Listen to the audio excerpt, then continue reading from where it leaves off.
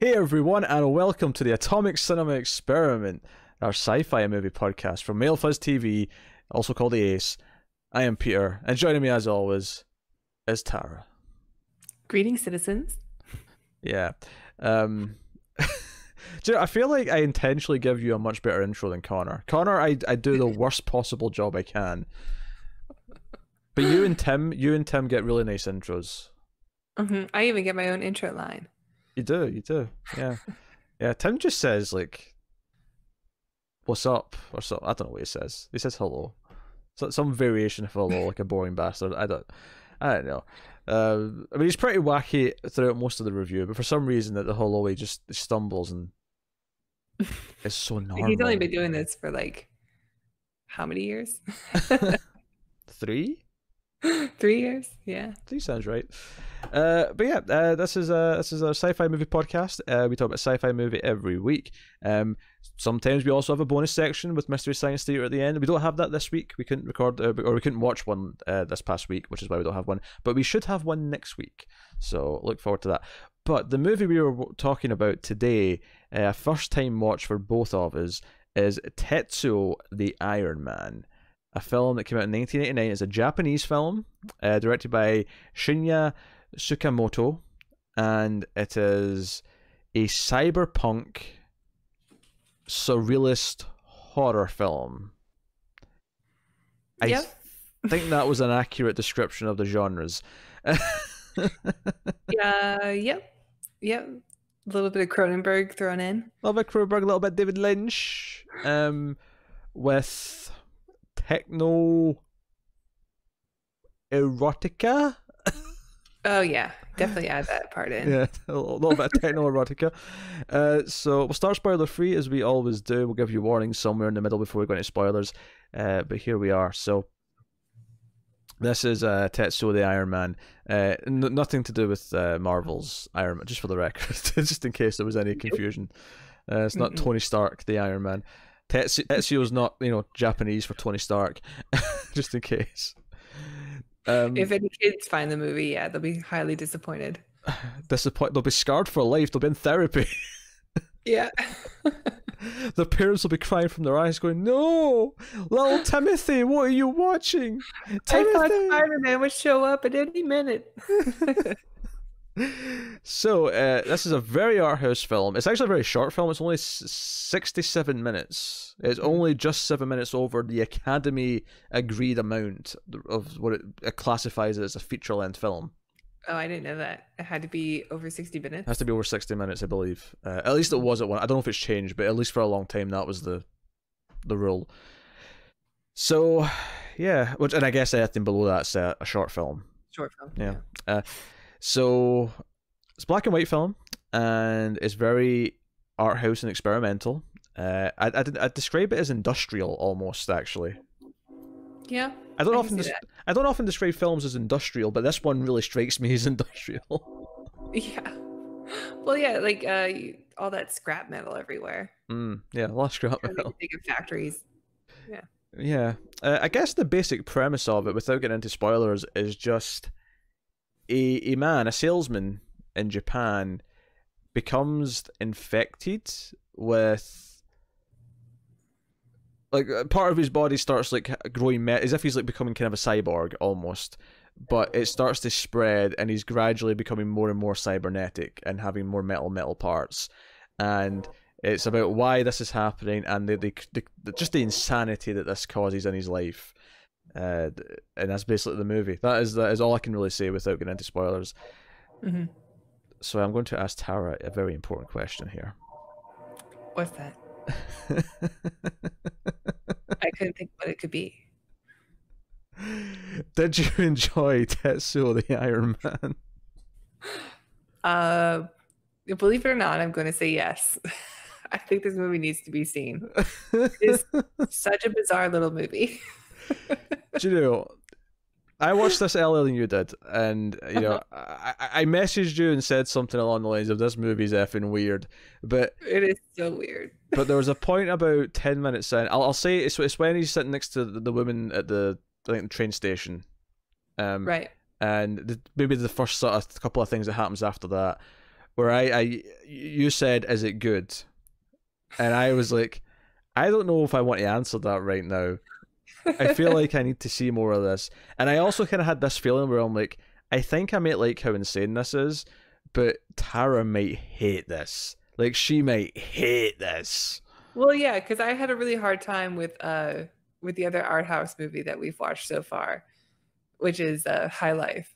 Mm-hmm. I had a difficult time with that one because that one was trying to say a lot of things, and I don't know if I can get past just the art house of the whole film in order to get what the movie was trying to tell me.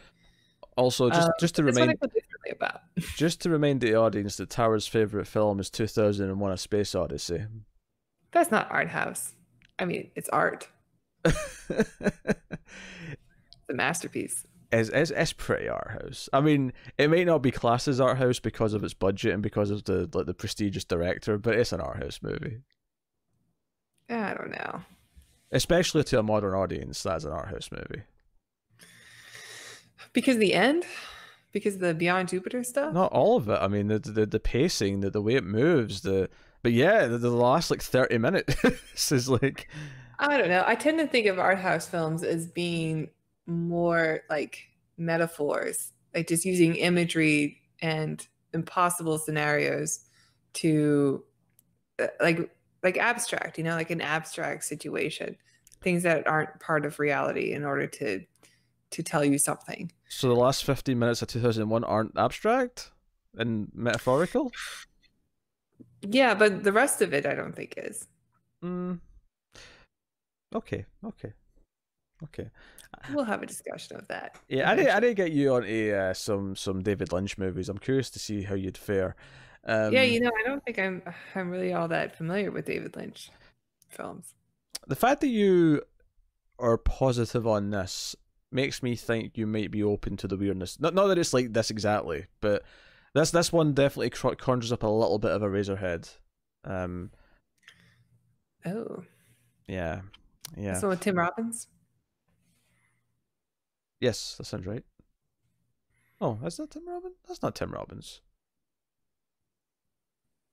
Is it a guy that looks like Tim Robbins? I think. Like I think. I think he looks like a chubbier Tim Robbins, which is why I sort of almost agreed with you there for a second. But I'm sure it's not actually Tim Robbins. But you're making me doubt myself now, so I'm, I'm going to. I'm going to check. I don't know. I've only ever seen like the cover. yes. Yes. Eraserhead. Here we go, 1977. No, no, no. Uh, Jack Nance. Hmm. I, I see why you thought it was Tim Robbins, though, maybe. Like a young Tim Robbins. I can see why you thought that. Yeah, but I guess that would be pretty young if it was 77. Yes. I mean, maybe he was making movies at the time, but he would be pretty young. Hmm. So, yep. So, so you're actually kind of positive on this. Uh, you you, you think yeah. it needs to be seen. I yeah, I kind of like it as well. I don't necessarily think every chunk of it holds up in the sense that there's definitely some stuff towards the end where I kind of felt like, all right, get on with it. like, yeah, like the point's been had I mean, now. It's real bizarre. Yeah, um, but like, and it's actually not that hard to understand. Once it actually gets to a certain point where it explains a couple of things, it's like, oh, okay, I actually, I understand what this has been doing, like almost the whole time now. Um, mm. It's definitely a little surreal. Don't get me wrong. There's some elements that that are a little bit, you know, not as like clear cut, but the, the the basic gist of what the story is and what the motivation for the characters are is is pretty clear past a certain point in the movie. Um, uh, it's, it's got very interesting imagery and sounds. Uh, like there's a lot of yeah. uh, industrial sort of sounding music. There's a lot of um black and white, and there's the great thing it does well where there's like a POV shot sometimes of like where the the video is like like a really bad VHS tape, like intentionally. It's it's got that kind of staticky kind of line going up, and it's like, and it, that that's used to signify certain types of POV. Is it almost as if you're seeing the POV of a robot, but not exactly that. Right. Which is explained later because that first one you're watching, you're like, why does this look so different from like low quality from the other imagery? Yeah. And then, you know, when you get the the reveal as to why, then it's like, oh, because it's POV. I get it now. Yeah. it's also very um I think the black and white makes it very beautiful but it's also incredibly grotesque. Oh yes. There's so much I guess blood, it could be oil. it just like spurts out at random.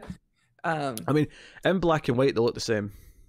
Yeah, yeah, and because you're dealing with both the human body and so much machinery and metal, it's uh, I guess it could be cons- seen as oil. I'm not gonna lie. There was about halfway through this film, I thought this might be the one that breaks you, and you're like, you know what, Peter, I'm not doing this show anymore. I think I'm, I think I'm done. I mean, I was I was into it. It was it was uh, very bizarre. Um, as far as what I can extrapolate for themes of the film, um, not a whole lot's coming to mind, but I did enjoy watching it like the entire time. And like you said, it's pretty short. Yeah. It's only 67 minutes. It's easy to watch. Um, and you're not going to see anything else like it. no, you're not. Uh, what was yeah. what's funny actually? Someone who used to uh, live in Japan, um, I, I kind of liked seeing that culture and what they would. I, I'm not into a lot of Japanese cultural stuff, but I I understand a little bit more of their culture from living there for a few years, and like the stuff on the train station. Um, it was just it's very interesting to see especially all the sex because everything in, in japan is so private you know, that that seeing so much sexual stuff on screen like that from that. I mean, I know they're into like weird tentacle things too, but I, am just not used to seeing that from these kind of from their films that I've seen from that culture. Yeah. Um no, this is this is definitely. I've seen a lot of Japanese movies, and I feel like this is definitely more on the extreme end of some of the what, what it's doing. Obviously, the other examples you maybe come up with is stuff like Ichi the Killer, or maybe you know stuff like some Takashi Miike films are, are very sort of violent or have extreme themes or kind of like that. Um, that's as far as themes goes, and, and sort of try to talk about what the film is really about in terms of themes and the idea that he's becoming this this machine. I guess it's the well, I can't even use that word because that kind of gives away the twist. On um, We'll talk about it in spoilers. yeah. We'll, we'll talk about it in spoilers. I, have to talk about what, what the reveal is to talk about what, what him becoming a machine, at least in my mind, uh, in my simplistic the hmm. definition mm. or interpretation is going to be. Um, but no, it's definitely an assault on the senses, like something or like nothing I've seen in a while. Um, it's you know it's yeah. it's loud, it's stark, it's it's there's there's a point actually right at the start of the movie after the, the opening prologue scene, uh, where the our main character is, I think it's, it's, it's a dream he's having, but he's in like a like a factory or some place with a lot of machinery, and like he's in pain with this this like sort of sound that's playing, and the way it's shot is like a music video. It feels like a music video, and he's like, yeah, he's I, like, I got music video vibes when watching it too. Yeah, he's he's like a dancer in a music video at this scene. He, almost like he is dancing, but like um, yeah, and, and again, it's another scene that makes sense. The more the more you kind of uncover what's what's going on. Um, yeah, so I think we just have to go to spoilers now. I don't, I don't think we can dance around them anymore. Yeah. I, um. Yeah. Right. I agree, but I do think if uh, it has my recommendation, I think people should watch the movie. It's so bizarre. oh god. How many people are going to take that recommendation and think they're going to get some some sweet film, and they're going, "Wait, Tara thinks this is interesting." Oh, I'm no longer trusting her opinion. Yeah. yeah. Um. So yeah, full spoilers. Uh. So movie starts with this this opening kind of prologue scene. We never see the character's face, but someone crawls into what is like a like a fort or a den that's been built out of machinery Mm-hmm. And there's there's like um, but for some reason there's there's like stickers or like pictures of like athletes all over it. Yeah, there's like Usain Bolt and stuff around. Yeah, they're all like Olympic runners. But he, he he's there, and I, I guess maybe the idea being that he wants to improve his running speed because he's a he's a, a techno fetish or fetished. If I say the word properly. Yeah, that's what they refer to him as in the credits. Yeah. It, fetish fetishes fetished fetished if he's you if, really into metal. if you really have a and not not, not the music either. um, uh, yeah, if you, if you're someone with a, a, an extreme fetish, you're a fetished. I think. I'm just not gonna bother saying it. It's too hard of a word. Yes, he's a he's, he's, he's a person with a fetish. He's a t- techno fetish person. Anyway, uh, so he like cuts open his leg, like his thigh, and he's got like this metal rod that he inserts into his thigh, into his body, uh, almost as if he's trying to replace one of his bones. Although he doesn't seemingly take a bone out, he just shoves a metal rod into his leg. Yeah, and it's like a like a one inch rod too, like thick. It's, yeah, it's not pleasant looking. No, no, no. It's but right away it gave me this sort of feeling. Okay, certainly we're dealing with obsession here. We're dealing with you know uh, uh, fetishes. I mean, sex is a big theme in the movie, uh, and we'll get to sort of the other representations of that later on. But he uh, he basically falls asleep and he wakes up and his wound is rotted and there's maggots crawling around both the rod and his open wound. And that of course, and obviously he's freaked out because why wouldn't you be? Because maggots are freaking disgusting. And he's like running outside, and again, you never see his face. He's just, it's like a shot of just his legs, and he's he's running in this really weird way where he's kind of hobbling, but you know more in one foot than the other because of his leg. Um, and he gets hit by a car. Uh, is how the the prologue scene ends, and then we get the title, and we come in and we meet the the salesman, uh, who and we get this music video west nightmare sequence, and then he wakes up, and almost immediately he's got this thing where he, he's got like a bit of metal sticking out. It's, it's almost like a pimple, but it's metal, and he pulls it out. Doesn't think anything of it, but he pulls it out. Uh, I think he tries, but he touches it, and then it spurts like a ton of blood just everywhere. Oh, you're right. He puts a he puts a big band aid over it. Yeah. Yeah. Because he, which was really striking, is one of the, the the first things I noticed about the movie is like the sound mm. in it. Like everything is just so high contrast when he touches it. Like this, extremely loud sound, like industrial machine like sound comes out, and then the it just sprays like a can of spray paint all of blood all over the mirror and stuff while he's shaving. Yeah, and then he's on the phone with his girlfriend, who is is felt weird since the incident, whatever the incident is, and we don't really know. Uh, but he's like, you know, you know, whatever. There's not a lot of dialogue in this movie actually. It's, it's very kind of, you know, just hmm. actions for for a lot of it. So he, he goes on the train to work and he gets off. He sits on the bench and there's this woman sitting next to him, and she looks over and notices a little pile of like basically just techno junk, a little bit of machinery and metal. And this is the first time we get like a proper POV shot, I think, uh, from this little hump of, of metal, as as if it's alive, as if it's something that can can do or has a has an awareness at the very least. And she goes to touch you it. Also see something inside of it, like or from the view of something inside because you see a person like the back of a person and it's moving around in this area full of metal and it's kind of it's kind of suggesting that it's from this whatever this goopy pile of metal is or it's something yeah it's external. it's kind of it's, like, it's only a quick shot you're right but it's, it's kind of um the, the, I instantly took it as it's the techno fetish because it reminded me of his den. It's like he's inside his den of all these these machinery, and yeah, yeah as if that's and his... he is moving around in kind of a sexual way. Yeah, um, but obviously, obviously, this thing's far too small for him to be in.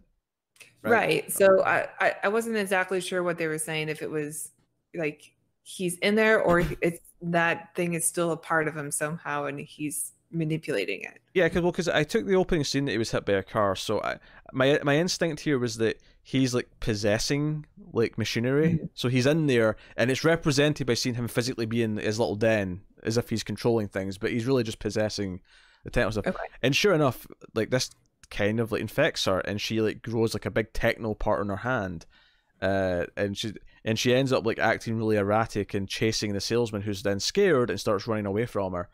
Uh, and we get this kind of chase sequence scene. And I think one of the things that we should mention here is some of the camera work in this movie is really like surreal and bizarre. The way it like speeds up, or the way it like like jitters around, or even her movement yeah. along with the camera. Yeah, it kind of well. it kept with that theme of just uh, technology. Like look at even the way the camera worked and stuff. It was very uh it's something you would see in a lot of like post-apocalyptic movies now. Mm. The way the camera movement is.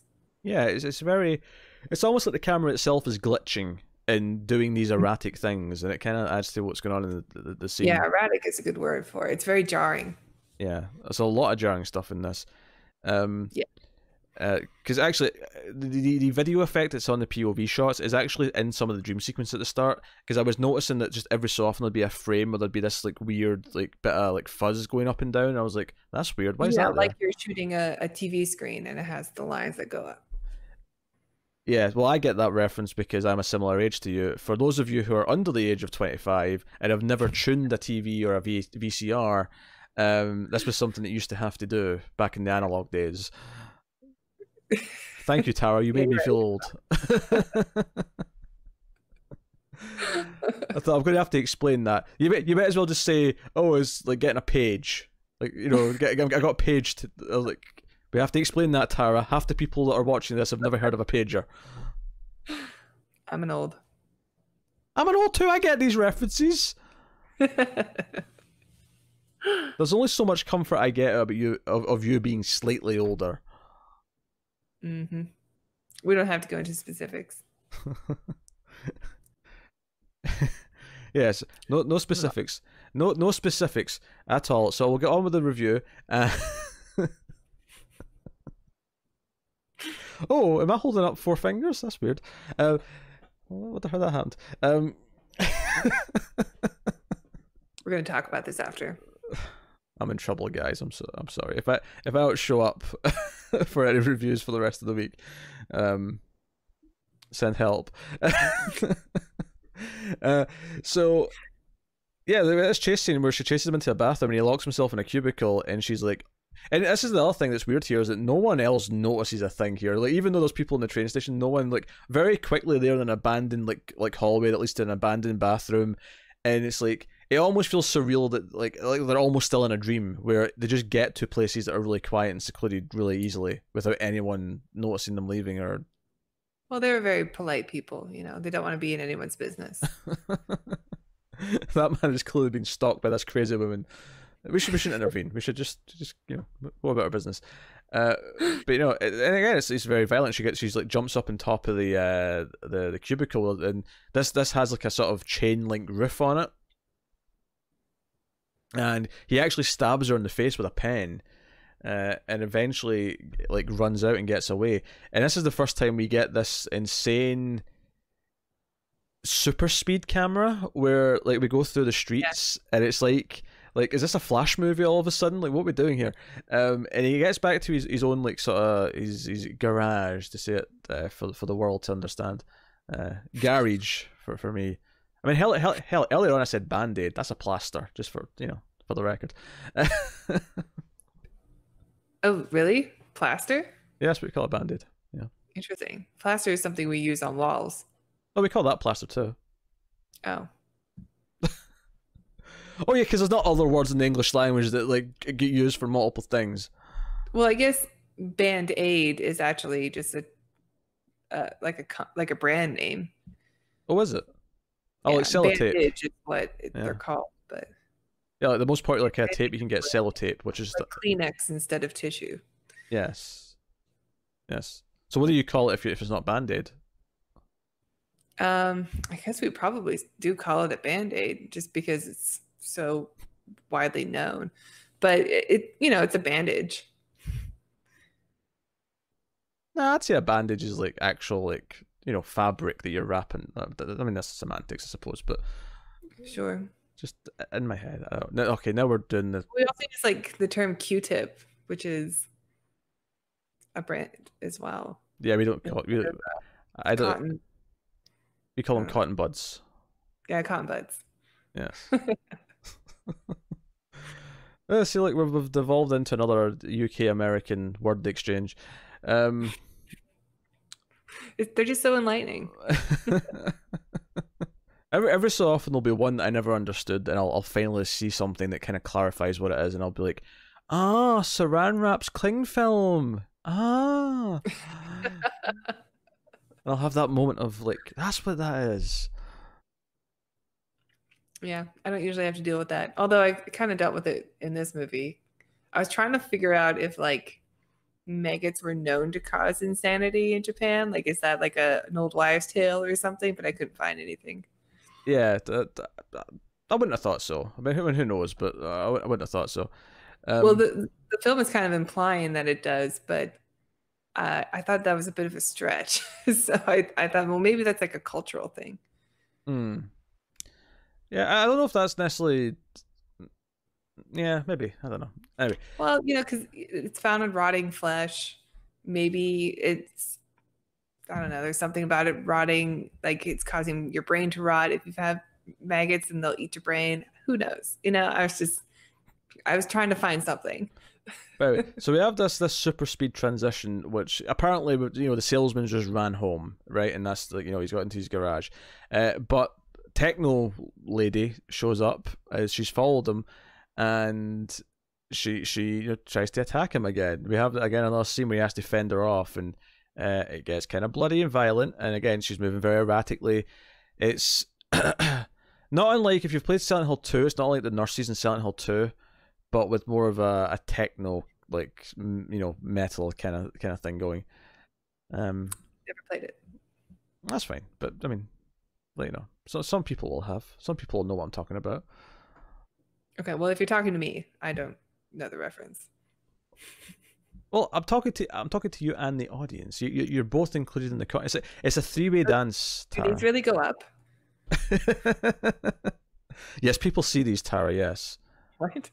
So this is this is kind of the big opener of the movie, right? And there's like it's hard to place where a lot of the hints of like this, you know, techno fetishist uh, gentleman and like his influence behind things because there's, there's, lots of random shots where it'll cut to a POV thing or it'll cut to like him and his little den.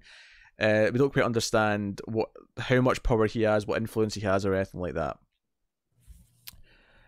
Yeah. Right, and I think at this point we've already had kind of a flashback to the the incident or part of the incident where him and his girlfriend are having sex up against a tree and yeah. we get the POV with the static sort of watching this happen from you know a weird angle in the distance, uh, and we just get a little bit of that. Um, but then we get a, a, nightmare scene, if you want to call it that. Ooh, I would. um, in which his girlfriend is dancing very, I, I guess it's more tribal than erotic but she does have this giant metal hose, which is essentially a big strap on. It, yeah. it it does have kind of like its own dexterity where it like bends and like you know goes up and down on its own, as, as if it's like a, a living snake almost, but it's right. it's metal.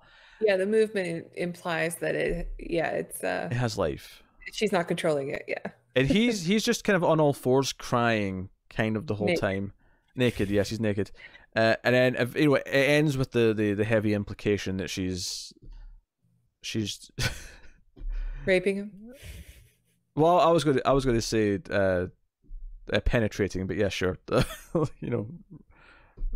Uh, yeah, it doesn't seem to be consensual, but no, I mean, no, I mean it's a nightmare and it's a giant living metal strap on, so it's it's like I don't know. Yeah, and we're talking like six feet long here. Yeah, yeah, it's huge. Like, like if she actually put it all in, he'd be dead. Like, it would actually puncture all of his organs. like, oh, yeah, nightmare, nightmare fuel. Yeah, nightmare fuel. Uh, unless it's unless it's her dream, in which case it's like just some weird like she she has to see a therapist. If that's her dream, she has to see a therapist. Yeah. if it's his dream, then he's he's clearly scared of his girlfriend, and he should probably break up um, yeah, it's a very bizarre. Um, it's a bizarre scene, but it does make sense. Like later on. Yes, it does.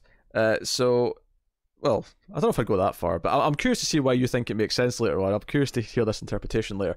Um, yeah, there's connections. Okay, okay. So, so they're having like dinner or whatever, and again, like all the sound effects are really heightened, so it's kind of disgusting to listen to because you're hearing all the, the, the clanking of the spoon and the like the the slurping and you know all these kind of things. Is this after they have sex? No, this is before. Okay. You, I think it's before because I remember thinking it's weird that he's already got like a metal thing because by the end of the fight with the techno lady, he has like more metal in his hand, so he's kind of like covering that up. Uh, yeah. And he's still got the you know the the the band-aid on his face. You got all, all these things happening. And even though mm-hmm. she knows that there's something wrong with them, and even though he's clearly distressed, they still end up having sex. Um, very, uh, this is fairly passionate. Um, yeah, she's they're like climbing up walls.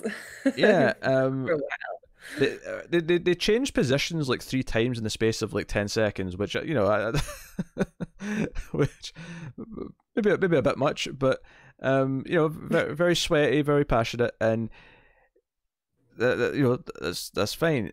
However, upon conclusion of this, how do I say this? Um, the salesman Dick, his his Dick, it turns in to a very thick mechanical drill that's about I don't know ten inches long, something like that. I don't know. It's really big, right? It's this big thick drill yeah. bit, like four inches thick. Yeah, yeah. Um, and at first he's just freaked out and he's like sort of scared by by it happening. Um, but then he kind of loses his mind a little bit and starts like trying to attack her and she has to like fend him off and like stab him with like a fork or something like that like there's it's chaos she chases, yeah. chases him out of the bathroom and there's like back and forth and then it's already been impl- implied that she'd been really depressed if she if he left. You know, she's like, no, "Please don't leave me, please don't leave me." Uh, not that he was thinking of dump her, but more like like a like "don't die" kind of thing. Like you know, don't leave me alone. Right. Yeah. She, you know, she seems very kind of uh, attached and uh, needy. Um, and after she thinks she's killed him, what she hasn't, she sits on the drill herself to commit suicide. It's the worst kind of seppuku.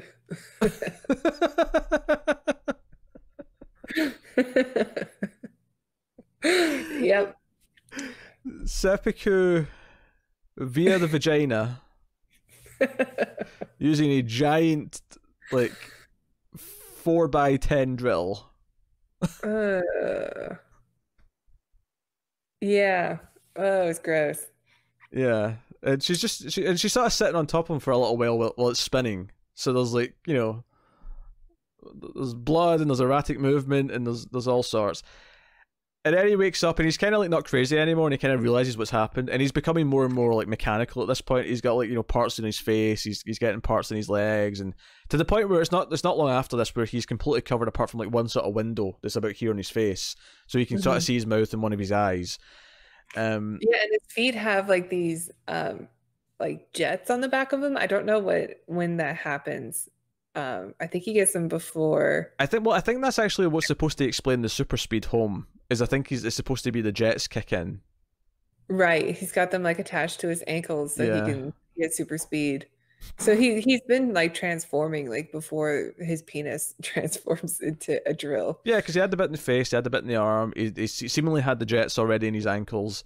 Right, and when they were doing the food thing, like he was like they were like feeding each other really like sexually and like uh uh also uh I don't know. It, it was very oh, gross. Oh. It was also like very metal like like every time that she would touch the food there would be like this metallic clang to everything and it wasn't just utensils yeah to the point where she you know no. licked the sausage the breakfast sausage no. or whatever and he seems to have an orgasm when it happens and it's also like a combination of the metal of, of like the all the metallic stuff coming together with wait i think with that I think you were right in saying the sex scene was first because isn't it like in the sausage that prompts the transformation of his dick?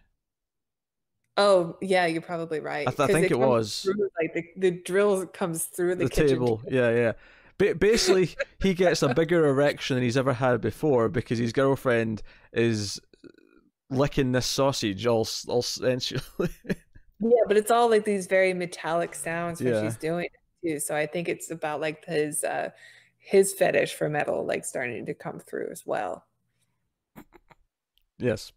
Uh so mm. after she's dead and he's like transformed more, he gets a phone call from the techno fetishist fetishist. Um and he's like, I'm coming for you. And I think it's around this point in the movie where we get a full flashback uh, to when when the techno guy was hit by the car. And sure enough, it's the salesman and the girlfriend who get out of the car. They're the ones who hit him.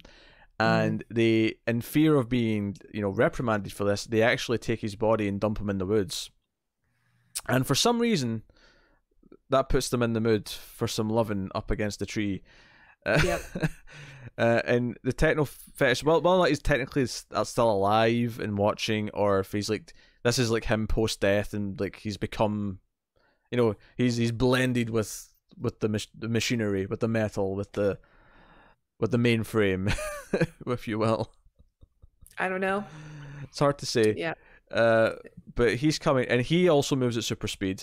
Uh, on his way, he puts on like some makeup. He gets like all this like fancy like eye makeup. He's got these like stars around his eyes, and yeah, he's very like '80s punk. Yeah, and he flies down the street, comes in. So even though he's technically dead, he's still like he because what he actually does is he, he he takes the body of of the girlfriend. He takes her dead body and possesses it, and he kind of comes out of her. So even though we see him coming down the street towards the house, it's just representative of the fact that he's on his way rather than being literal.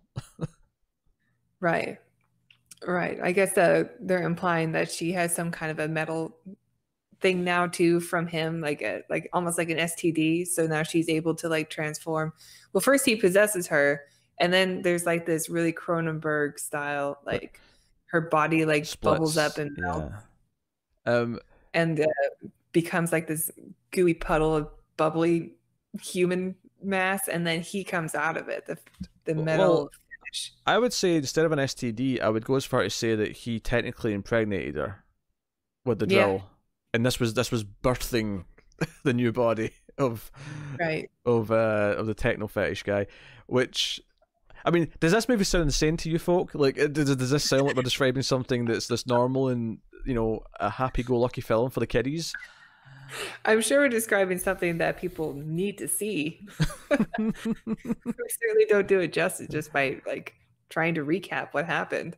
Yeah, and they basically fight and chase each other around, and eventually, you know, the salesman, you know, runs outside, and I think this is the part of the film where I'm not as into it. The, the last like 15 minutes or whatever it is here, um, other than the very, final moment where the final thing happens, is the one point in the film where I felt like it was just doing things to be doing things. I, I didn't really feel like I was getting a lot out of the actual imagery itself, uh, as as they were chasing each other. But ultimately, you know, they, they, he gets the salesman sort of pinned up against a, a wall. Maybe they're in a factory, and he shows him a vision actually of like a future where everything's machinery, as, as if he wants to like bring about the machinery revolution. Right. He says he wants to like cover the world in rust. Yeah. As you do. But he can only do it with both of them. Like he needs both of them to to make this dream come true. mm-hmm, mm-hmm. Uh, so then they actually combine. They, they, they, they basically they're, they're both like transforming and having more and more metal, and they form this big metal like abomination where the one one guy's head's in the middle of it, the other guy's head at the top, and they're like, okay, let's go and you know start this apocalypse, and they go down the street together, or as one big thing, and that's the end. That's, that's when it goes to credits. That's that's the end of the movie. yeah, uh, it's so hard. I like. The, I love the design of the creature at the end. it's so goofy, but it's also really like. I, I mean, it's still in the same uh, aesthetic as the rest of the film. Oh, sure, yeah. There is something about it, like kind of wobbling when it was mm. like driving away, that kind of took me out of it a little bit because it's just that slight wobble, like it's a giant hollow paper mache thing mm-hmm. that kind of comes through. Yeah, I. I'm trying to think of like some of the themes here and like or try and understand why like what it's trying to say about obsession and fetish and how it passes from the one guy to the next and how they have to combine to to do something you know to, to, to make the new world that they want to make. Um yeah i don't know if i can i don't know if i'm capable of doing that of making that connection. But i i kind of you know like the whole sort of uh slasher movie element of it where you know, some a guy is dying unjustly, and his the people who caused him are like just having sex and not like even seeing if he's still alive in the back of the car or whatever. And then he wants revenge on them by killing them. It's it's kind of slasher movie esque. Yeah, a little bit. Yeah, I can see what you're saying. Um, of some 80s slashers. I I um, because I th- like the idea that he wants him to suffer by like doing to him what he it's it's almost like he's thankful for dying because it allowed him to finally kind of like merge with the machinery in a way that he couldn't achieve before. Mm-hmm. Um, and it's almost like he wants to share that with him, and he wants him to be an ally. As, as scary and as weird as all the stuff before it is, like it does kind of feel like he had an end game in mind. Um, and he, he even comes from his girlfriend yeah, saying, it works out to his advantage, so you kind of have to think that yeah, but he even comes from his girlfriend, which kind of has this weird connotation of like, no, I'm your partner now. I I'm your like other half now. Mm-hmm. Um, so I don't know. I'm I'm trying to make sense of it. uh, yeah, yeah. As as far as the dream thing goes, I I just thought of that as like the metal taking over, like the metal fetish coming through in his subconscious. Mm-hmm and it's just manifested itself in this way, which you know sort of makes sense because then he gets a metal dick. That's a drill. Mm-hmm. Mm-hmm. Uh, that those are the connections that I saw from the dream. Yeah. Yeah, yeah, I, I, know. I see what you're saying. Um, and obviously the idea that like it all comes back because again, sex, sexualization, and the fetish is kind of a big part of this. Um, and you know, the fact that they were having sex when he was dying, leads to why so much of what follows is very sexual. Like the the, the dream that he has where he's sodomized, very mm-hmm. sexual. uh, this the sex they have themselves, and then of course the the, the, the drill deck, which then destroys her. Uh, I guess.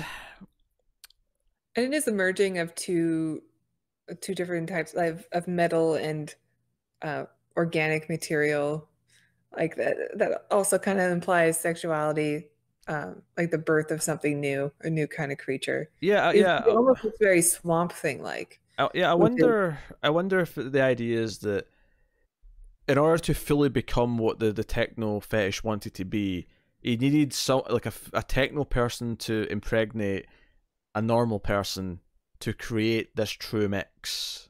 Hmm. Yeah, maybe. Yeah. Maybe it's kind of like a, it's kind of like Alien that way. Yeah, that said, the salesman's already pretty much that anyway, so he he achieved it well enough. uh, yeah, that's true. Um, but uh, he he does seem like he's a complete mess. Like he doesn't have any kind of purpose when he is just the metal man, like the Iron sure. Man anyway. Like, um, so maybe he does need the combination of the other guy in order to be able to have a a new life because otherwise he's just kind of going crazy. he's just this blob of scrap metal. I love all the uh I, I love all the imagery of it though. Like it, the um the stop motion style of just mm. the of all the different just scrap metal coming together. Uh, I thought that was really it was really grotesque, but uh, you can't really look away from it. Oh, and oh yeah, I think I think it's a good choice to make it in black and white, so it's easier to to watch. Um, I, I really like this movie. also, I want to just point, so bizarre that it works. I want to point out that the uh, the description IMDb spoils the reveal. Oh. It literally says a businessman accidentally kills the, the metal fetishist. Oh, I'm glad I didn't read it first. Yeah, come on, man. That's not no. Don't put that in the description. Yeah, that's like past the halfway mark that we get that reveal. Yeah. So are, are you saying to me then you want to do the sequel at some point? yeah, there's more than one, right? Yeah. Tetsuo 2 Body Hammer. I think I said the last one came out in like 2009. Yeah, yeah. Right? Uh, Tetsuo the Bullet Man from 2009. Yeah because I was looking up the movie to try to find it to watch, and I saw that there was one from 2009. I'm like, that's probably not it. Same director on both of them. Oh, really? Yep. All right. Yeah. I suppose we should. Yeah. See how this trilogy goes.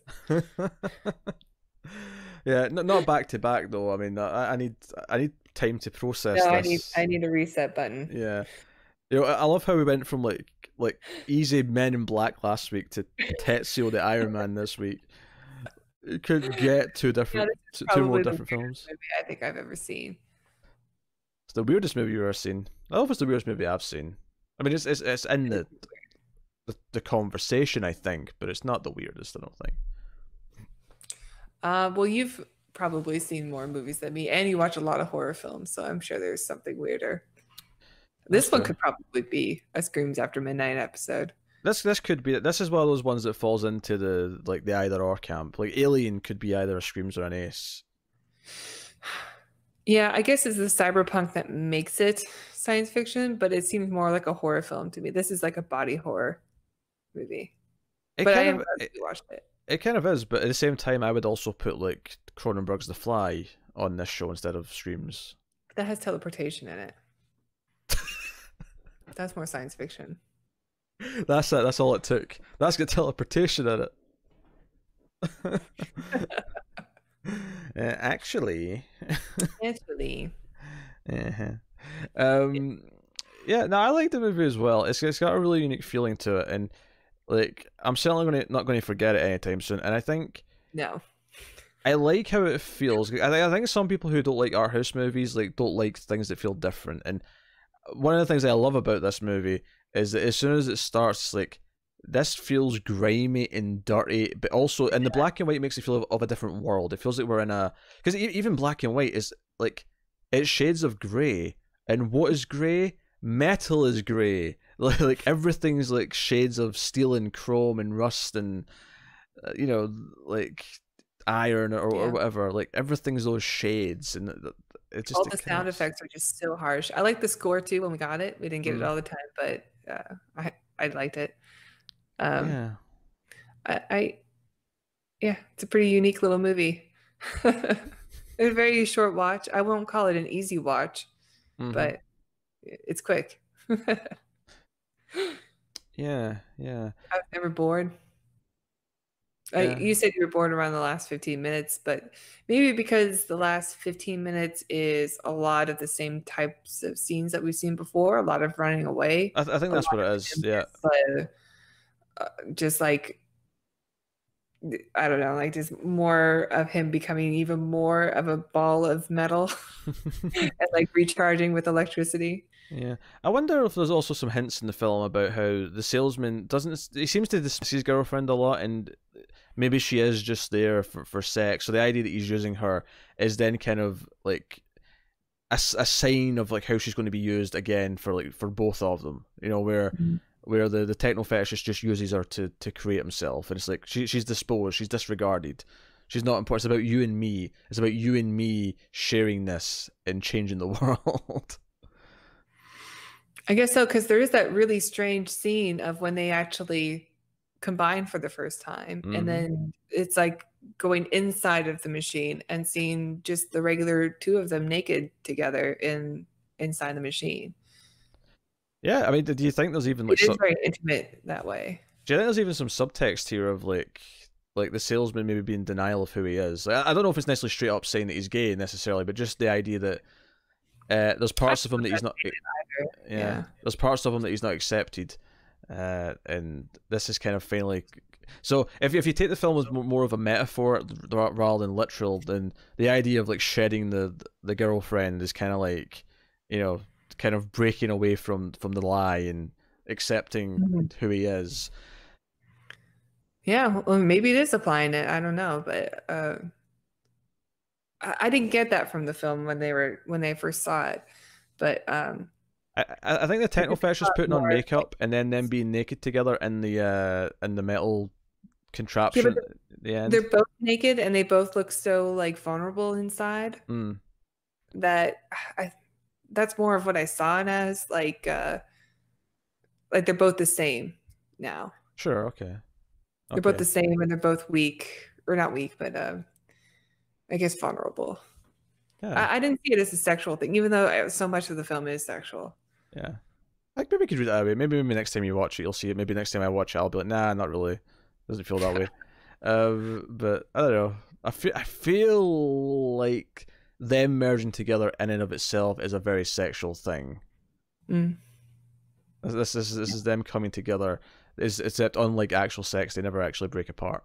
They're just together now. Yeah. As one unified thing. Monster transformer. Yeah. yes. Uh, so I am fascinated as to what the sequel might be. Is it is it this big metal thing going around, or is it new characters and it kind of links in, or is it just a thematic thing, or or whatever? I don't know. Was the next film like pretty recent after this one, and then a big jump till two thousand nine? Yeah, the second one was nineteen ninety two, so it was just three years later. Mm.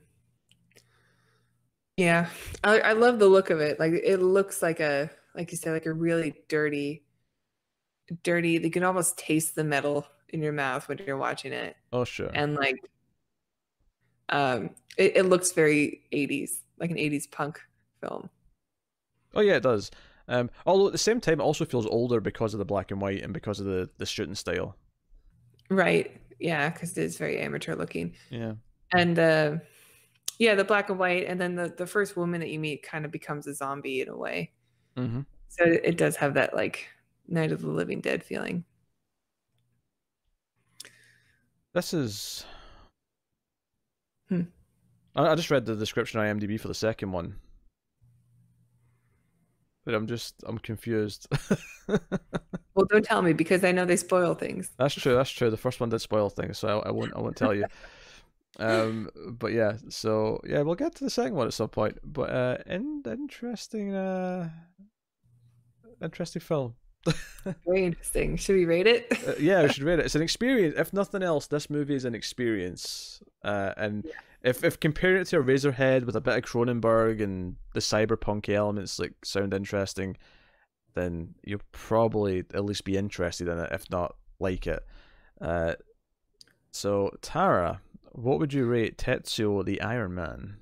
Uh, yeah, it is uh, a bizarre little film. Um, I'm really glad I watched it. I, I don't.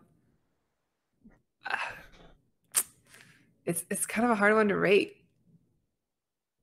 Uh, I don't I don't love it, but I'm so glad that I watched it, and I think it'll mean some. Uh, I think a lot of people are going to hate it.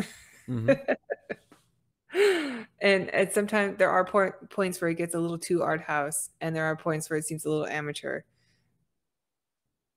But overall, I think it's a very unique film that should be seen, and I'm gonna give it a I'm gonna give it a seven. I think that's a pretty fair score.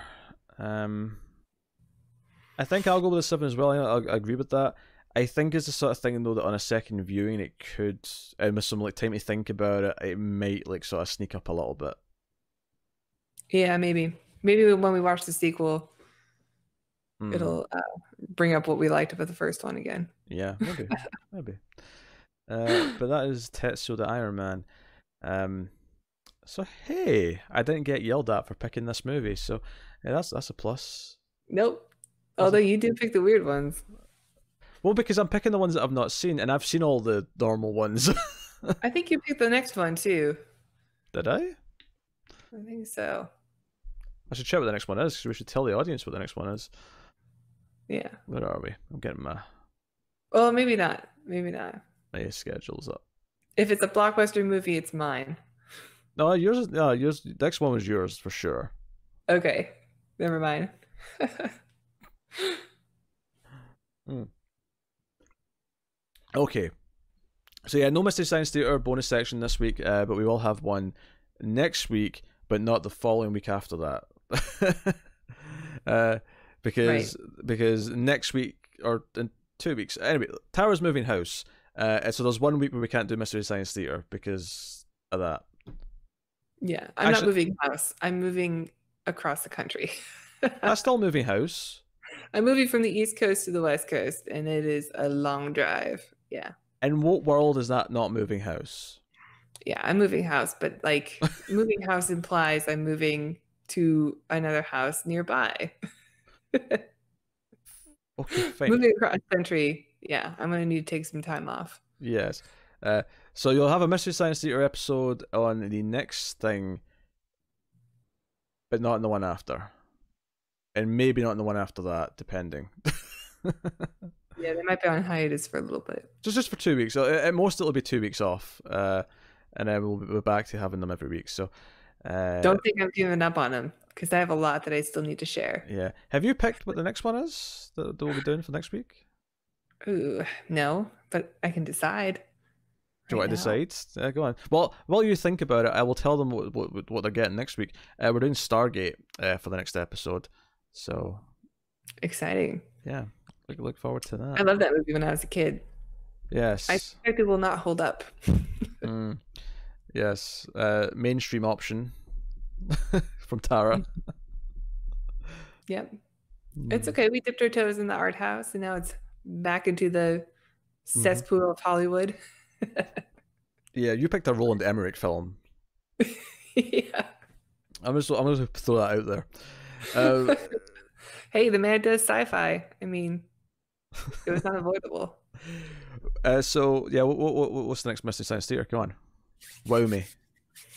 Do we do a Joel? Do we do a Mike? Do we even go nuts and do a like a Netflix one, like one of the newer ones? Oh yeah. Um, I'm not very familiar with those. That's more of a lucky dip. You could just be like, yeah, that one. Or okay. you could pick a favorite from Joel or Mike. Let's do another Mike one. Mm-hmm. Let's do Overdrawn at the Memory Bank. Overdrawn at the Memory Bank. It's actually a comedy. Oh dear. Yeah. It's good. Why do I get the feeling that all the funny parts will be the Mystery Science Theater people and not Oh no. It uh it's a movie that stars Raul Julia. Oh, I like Raul Julia. Yeah. And he's great in it. Interesting. Okay. okay. I'm intrigued. I'm intrigued. So there'll be Mystery Science Theater bonus section next week. Um, but that is that's been uh, I guess that's been this show. This has been uh, episode. Was this ten? Oh, maybe. Let me check. Let me check. Go us. We have to know that before. uh I think so because I think remember last week you saying it was nine, not quite ten yet. So. Yeah. Let me just uh check. Uh my my my raw footage here. Um, yeah, this was episode ten. Woo! Ten episodes, ten experiments will be completed. We're the greatest. Ten episodes, baby. So yeah, uh, here's the committed. If we can do ten, then we can do a hundred. yep. Uh, if we can do a hundred, we can do a thousand whoa, um, I don't, know if I make that kind of commitment. If we could do a thousand. oh Jesus! What have I done? We could do ten thousand. Didn't I, make that many sci-fi movies. I don't think there's that many weeks before we die. oh.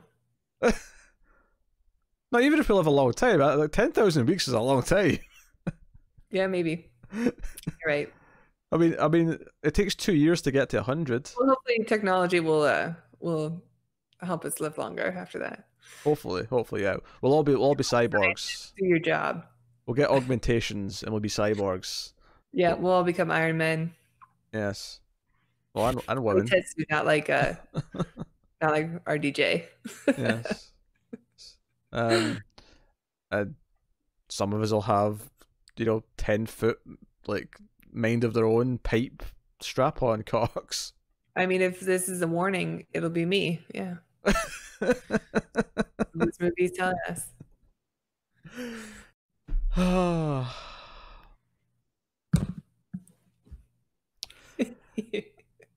the audio people just got silence and then a thud and then a, a giggle. they have no idea what's going on here. Tara was simulating what her uh, my giant six foot long dick would look like. Yes. it does the wave apparently. Um, done. Yes, yes. And then one day I'll just I'll get a random erection. I'll think nothing of it, and then a drill will just go through the table. There'll be sawdust everywhere. Well, at least we'll live forever. Always look at the bright side of life, yes. Uh, mm-hmm. But that is a that is a episode ten of the Atomic Cinema Experiment, and uh, we can we can you know move on to test subject 11 next week uh, is worth mentioning a couple of things uh, one if you enjoy the show and you want to support us tara where can they do that well you can go to our patreon it's at patreon.com slash tv and you can donate as low as a dollar per month and with that dollar you get extra bonus episodes of the ace we have two up so far um, actually by the time this goes up, the third one will be up. Oh no! Wait, I don't even know what the third one's going to be. Oh no! Wait, oh, I'm oh, I'm confused. No, you're right. It'll be the second one that's up by the time this goes up, I'm not the third. Okay, that's my so bad. From. that's my bad. And almost a third one. Yes, yes, yes. The second, yeah, the second one that should have been up recently, um, was um Trancers. So uh, check out that if you're a patron. You get that the one dollar tier, one dollar, and you get the bonus episode uh, every month. Um, yeah, and if you want to rate us on your podcast app, give us five stars. Uh, that helps us out a lot as well, and spreads us out to more people who might enjoy the show. It also uh, just makes me feel kind of kind of fuzzy. I I would describe myself as tingling. Not mildly fuzzy. No. Well, you see, describing myself as tingling is a reference to the hit television show Buffy the Vampire Slayer, because it's what Principal Snyder says when he describes how he feels when he gets to expel Buffy. Uh, he describes himself as tingling. Uh, That's a cheat. you did not get points for that. Uh, oh, I didn't see a Star Trek reference in this episode, so that's okay. I was going to make a comparison between the Borg and the Iron Man. Oh, that's a that's that's a like, low blow. Or like machine and man coming together. Low hanging fruit. This would have been pre Borg. It would have been, yeah. yeah. Uh, but that's that's low hanging fruit, Tara. Like, you, like I, I I bent over backwards to get a Buffy reference in. That would have been just cheap, easy nonsense. That's what that would have been. Okay. I don't yeah. think so. Yeah, yeah, yeah, yeah. You know what? You know what? All right. So neither of us get points this episode. Excuse me. I get points. I don't think so. Because you use the... the word tingly? Come on. I said the full sentence. I am the captain. I've always been the captain. I get a point for that. A whole right. point. I forgot to say from the hit television show Star Trek The Next Generation. No, that doesn't count. that doesn't count. I'm not having this. I'm not having this cheap nonsense. You can claim your point, but I will dispute it. Captain. not Captain now, Captain always. That has been the Atomic Cinema Experiment. Thank you very much once again for watching and listening. And please do say in the comments if I should get a point for that Buffy reference, I think I should. Uh, but that has been us. So thank you once again. We will see you next time. Keep watching science fiction films and computer. That's salsa. Yum yum.